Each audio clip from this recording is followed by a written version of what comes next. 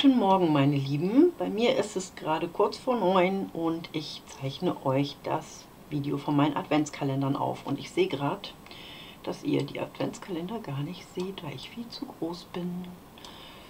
So, oh, kann ich noch ein bisschen kleiner. So, genau. Ich fange wie immer an mit dem Ikea Kalender und heute haben wir schon die 5 und ich habe meine App heute gar nicht aufgemacht. Das mache ich gleich mal. Ähm, so, die 5 hatte ich schon gerade gesehen. Da ist sie, genau, bei dem Weihnachtsbaum. Und ich gucke mal, wieder kein Fenster. Dann gucke ich jetzt auch nicht mit der App, weil da war ja irgendwie die letzten Tage, das hat ja nicht so richtig funktioniert. Ja, Schokolade zum Frühstück. Wieder weiß und dunkel. Mhm. Und in der Mitte. Hm. Schmeckt ein bisschen wie, ach, wie heißen die denn? Mars, glaube ich. Genau. Ja, so, so ein bisschen. Bisschen edler, aber so in die Richtung. Genau. Ja, das war schon der Ikea Adventskalender. Wie gesagt, ich habe jetzt keine Lust, da nochmal zu gucken. Ich mache das in ein paar Tagen nochmal. Heute habe ich ziemlich viel wieder auf dem Plan. Und ähm, möchte mich nicht so lange mit dem Video aufhalten. Ähm, bevor ich jetzt die anderen Kalender aufmache, ist mir noch was eingefallen. Und zwar ist dem einen oder anderen vielleicht äh, aufgefallen, dass die Videos vom Tag 1, 2 und 3, ähm, die ich als erstes gemacht habe, wo ihr drunter kommentiert habt, die sind nicht mehr da. Ich habe aber dreimal das Video neu gemacht. Ich habe es nur noch mal ein bisschen bearbeitet. Und zwar war mir aufgefallen, dass ich ja überall äh, schlauerweise die Internet oben diese Zeile, wo dann die Links drin sind, die waren ja alle sichtbar. Das heißt, die hätte man sich einfach abschreiben können und wäre dann wahrscheinlich zu den Dateien gekommen. Das darf natürlich nicht sein, also habe ich das schnell weggemacht. Und äh, also es ist mir gestern aufgefallen beim Videoschneiden. Und dann habe ich die offline gestellt und habe die drei nochmal bearbeitet und habe sie jetzt wieder online gestellt. Also wundert euch nicht. Ich habe die jetzt nur pro forma wieder online gestellt, damit äh, die eben zum späteren Angucken, wenn jemand sagt, ach, ich möchte alle drei Videos nochmal gucken, ähm, ja, dass er die dann auch alle drei sehen kann. Genau, und deswegen habe ich, wie gesagt, die nochmal bearbeitet und habe sie halt neu eingestellt. Also falls ihr euch gestern gewundert habt, dass drei neue Videos kamen mit Türchen 1, 2 und 3, das lag daran. Ähm, ich habe auch heute eine andere Lösung mir gesucht. Also ich habe die Türchen von meinen Plotter-Dateien, die ich mir ähm, gekauft habe, die Adventskalender, die habe ich mir vorher schon runtergeladen. Also ich habe sie mir jetzt schon angeguckt. Und tatsächlich sind heute wirklich schöne Dateien dabei, die mir gut gefallen. Und äh, ja, die habe ich hier oben auf meinem Bildschirm, deswegen habe ich da auch gerade hingeguckt. Und die zeige ich euch dann später. Also ich zeige euch dann quasi nur das fertige, offene Bild und eben nicht mehr, die halt nicht mehr auf die Internetseiten, dass ich dieses ganze Rausgeschneide nicht mehr habe, weil das ist doch ziemlich viel Aufwand dann beim Schneiden äh, zu gucken, dass man das eben entweder so groß zieht, dass der Link nicht mehr in dem, in dem Sichtfenster, sage ich jetzt mal, zu sehen ist. Oder man müsste sich halt, äh, ja, man müsste es halt alles verpixeln und das ist viel Arbeit und da habe ich keine Zeit für. Genau. So, weiter mache ich aber jetzt mit dem Plotter Marie. Und äh, auch da habe ich die Internetseite schon geöffnet und habe gesehen, dass das wieder in Verbindung ist mit äh, einem Türchen, und zwar das Türchen von morgen. Das gehört wieder zusammen. Und auch morgen kriege ich dann wieder ein Video. Und ich denke, ich werde das ähnlich machen wie beim letzten Mal, dass ich euch Screenshots mache von den Sachen, die sie dann damit gemacht hat. Oder vielleicht habe ich auch morgen tatsächlich mal ein bisschen Zeit, ähm, was mit euch tatsächlich zu basteln. Das weiß ich noch nicht. Und wir schauen hier einmal rein und wir haben hier, wenn ich das richtig sehe, ich glaube, das ist eine Duo. Ah, nee, das sind zwei. Okay, ich wollte gerade sagen, ich dachte erst, das wäre eine Duo-Flex, aber nein, es sind zwei Flexfolien und zwar einmal in schwarz und einmal in weiß. Und falls mir das morgen nicht gefallen sollte, bin ich sehr glücklich über diese schwarze, weil ich habe nämlich gestern meine letzte aufgebraucht. Ich habe gestern noch einen Auftrag erledigen müssen Und ähm, also ich habe ähm, einen Blog gesponsert, ähm, Meeting Jesus nennt sich der. Und ähm, da wird jedes Jahr eine coole Aktion gemacht, kurz vor Weihnachten. Und zwar ähm, gibt es einen Bibelspruch und man kann dann dazu ein Bild malen oder grafisch gestalten oder einfach nur einen Text oder einfach Handlettering oder was auch immer, wozu man Lust hat, muss halt zu diesem Spruch passen, beziehungsweise der Spruch sollte drin vorkommen. Und ähm, ja, dann wird ein Gewinner gekürt und ähm, über die letzten Jahre hat sie halt immer, immer mehr Sponsoren bekommen und die Gewinne da, die haben sich echt gelohnt. Es ist leider schon zu spät. Ich hätte das mal viel früher erwähnen sollen in irgendeinem Video. Ähm, ich werde es aber trotzdem unten mal verlinken, dann könnt ihr euch mal angucken, was für tolle Karten da zustande gekommen sind. Sie hat auch einen Online-Shop und man kann dann dort die Karten auch bestellen. Genau. Und auch die vom letzten Jahr, da gibt es auch, glaube ich, wenn ich mich richtig erinnere, ich möchte euch jetzt nicht anlügen, schaut bitte selber nach, aber ich glaube, es gibt auch äh, kostenlose Karten. Aber sie hat halt eben auch einen ganz normalen Online-Shop, wo man eben auch tolle Sachen kaufen kann. Genau, wie gesagt, den werde ich euch auf jeden Fall unten in der Infobox verlinken. So, ja, hier haben wir also, wie gesagt, eine weiße, eine schwarze Flexfolie. Und ja, die packe ich mir wieder an die Seite.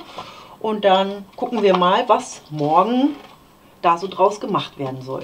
So, den packe ich mir jetzt noch mal ein bisschen an die Seite und nehme euch mal mit auf meinen Bildschirm und zeige euch einmal kurz die Bilder, die ich dann heute bekommen habe. So, und das erste, was ihr hier seht, ist von Tintenrebell. Ja, finde ich ziemlich cool, muss ich ehrlich gestehen. Das ist wirklich mal was, was mir richtig gut gefällt. So ein Säbelzahntiger. Ähm, ja, kann ich euch jetzt auch nicht erklären, warum. Es gefällt mir einfach.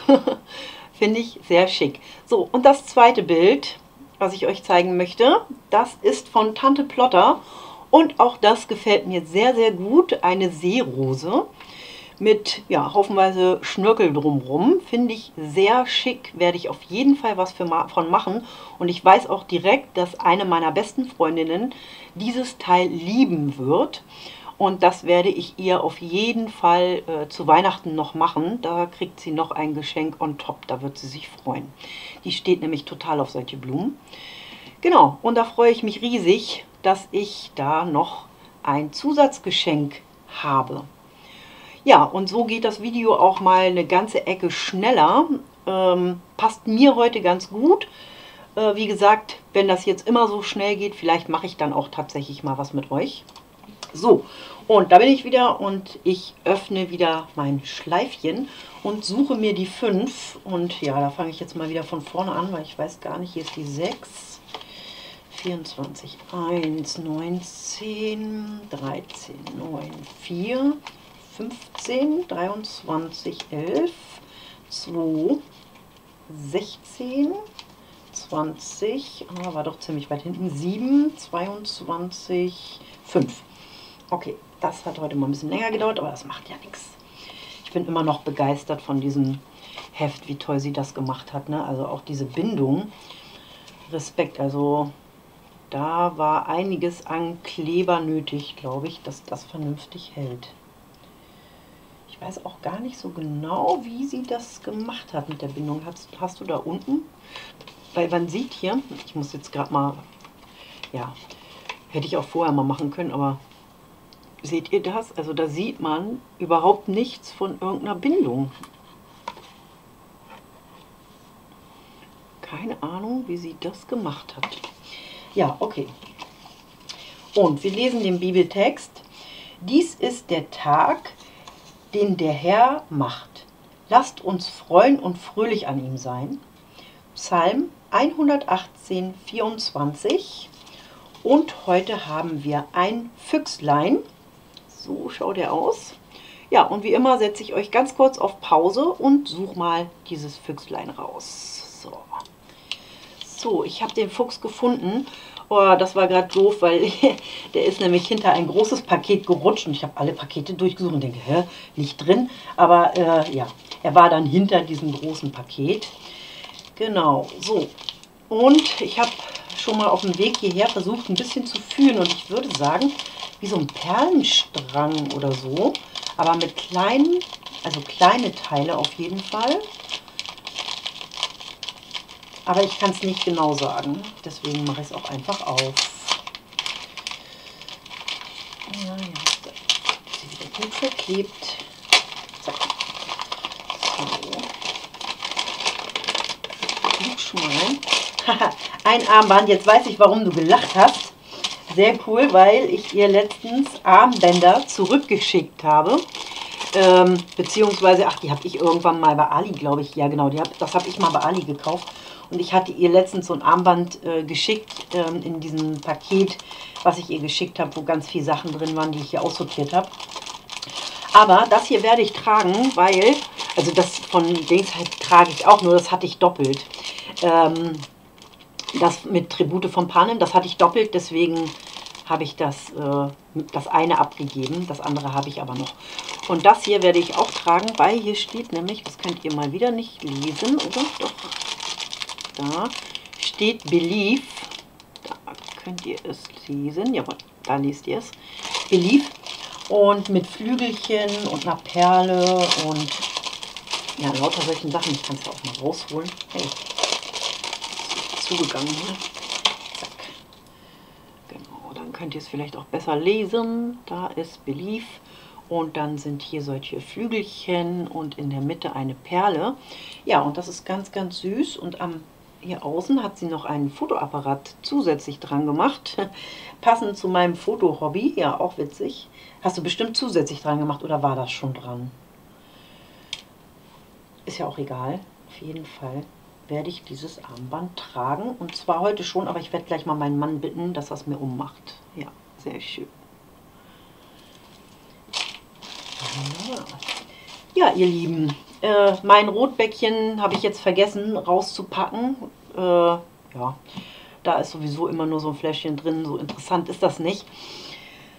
Genau, ja, den werde ich jetzt aber trotzdem gleich trinken, weil gerade zum Frühstück ist das immer gut, dieser kleine Energieschub. ja, das war's für heute. Und ähm, ja, wir sehen uns morgen wieder und morgen ist schon Nikolaus und ich freue mich wirklich sehr auf das Video von Miss Fruchteis und bin sehr gespannt, ob sie sich freut über die Sachen, die da drin sind. Genau, morgen hat sie zwei Päckchen von mir. Eins, was regulär im Kalender war und eins, was ich ihr ähm, später noch zugeschickt habe. Und da bin ich wirklich sehr... Hm, also, ja, ich will jetzt natürlich nichts verraten, weil ich weiß ja, dass sie dieses Video hier guckt. Ähm, deswegen möchte ich nicht zu viel verraten. Ah, aber ich bin da so ein bisschen also ich hoffe, dass sie sich freut und dass das nichts anderes hervorruft. Genau, so. Mehr sage ich dazu jetzt nicht. Und ähm, ja, Mausi, wenn es äh, dir ganz nahe geht, morgen das äh, zusätzliche Geschenk, dann äh, ruf mich bitte an. Ich bin natürlich für dich da.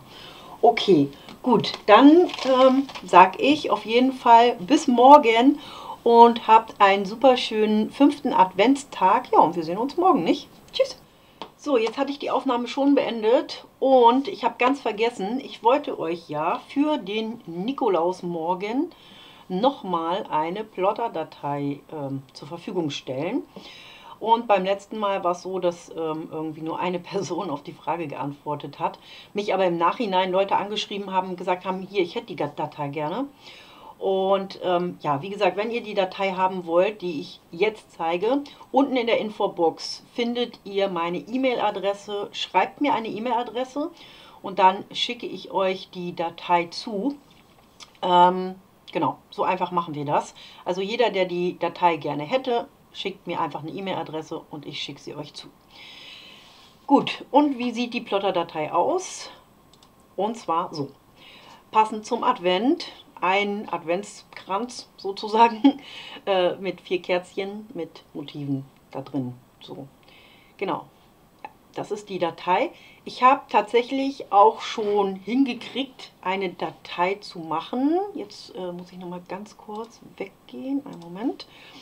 Ähm, ja. Wie mache ich das jetzt? Ach doch, ich ziehe das hier einfach rüber und mache das groß. Und dann zeige ich euch nochmal den Dings. Das hier ist die Stickdatei dazu. Ihr seht, die Bilder sind nicht so ganz hundertprozentig. Also, naja, die Krone erkennt man schon nicht mehr so wirklich. Und da unten der Stern, der sieht auch nicht mehr so ganz aus wie ein Stern. Aber besser habe ich es nicht hingekriegt. Das wäre dann die Stickdatei, die dann auch dabei ist. Für alle, die jetzt keinen Plotter haben, die können das dann als Stickdatei ähm, sich runterladen, beziehungsweise schreibt mir, ob ihr eine, ähm, ups, so, einen Moment, wieder hier drauf, ob ihr die Plotter-Datei haben wollt oder ob ihr die Stickdatei haben wollt. Ähm, die Stickdatei schreibt bitte auch dahinter, welche Endung ihr braucht, welche Dateiendung. Also ich habe zum Beispiel einen Browser, ich brauche eine PES-Datei. Dann gibt es ja aber verschiedene Hersteller äh, von äh, Näh- oder Stickmaschinen und die haben alle andere Endungen. Und die meisten Endungen kriege ich hin. Ich werde mal kurz gucken, wie ich das hier, genau, auf Export. Und dann zeige ich euch einmal ganz kurz, das sind die Sachen, die ich hinkriege. Also DST, EXP, PCS, HUS, VIP, SHV, JEF, SEW, ähm, CSD und XXX. Die Sachen bekomme ich hin, um diese Datei abzuspeichern. Also, falls ihr eine Stickmaschine habt, die eine dieser Endungen habt, schreibt mir eine E-Mail. Ich möchte gern die äh, Stickdatei oder von mir aus auch beides, ist egal. Ähm, ich möchte das gerne haben und schreibt mir dazu für die Stickdatei welche Endung. Die ähm, Plotter-Dateien gibt es immer in SVG. Ähm, vielleicht packe ich auch noch in einem ZIP-Ordner die Bilddateien dazu. Ähm, das gucke ich dann. Genau. Okay, ihr Lieben. Ja, dann war es das jetzt aber wirklich. Und wie gesagt, habt einen schönen Tag. Bis morgen. Tschüss.